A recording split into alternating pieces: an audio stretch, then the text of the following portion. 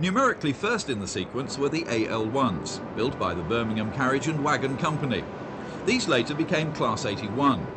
Like the other first generation electrics, the 81s were built with train vacuum brakes only, but it wasn't long before air brakes were needed as well to haul new builds of freight and passenger stock.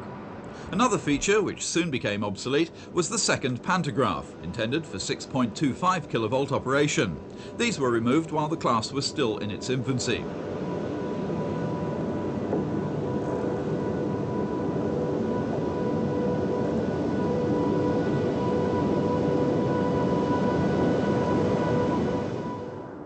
In the 1980s, the class was allocated to Glasgow Shields Road, although they continued to run throughout the West Coast electrified system on passenger and freight duties.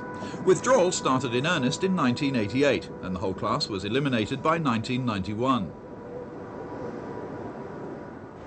The longest lived of the first generation types were the AL5s, or Class 85s, built by BR at Doncaster. They were also the most numerous type, originally totalling 40.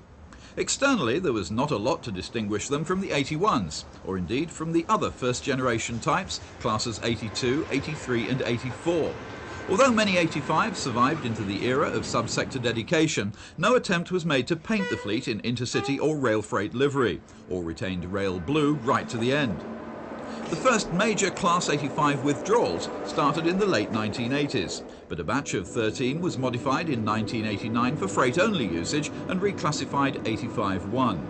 Their apparent reprieve, however, was only short-lived, and after briefly enjoying the limelight of hauling rail tours, the characteristic roar of the 85s was switched off for the last time in 1991.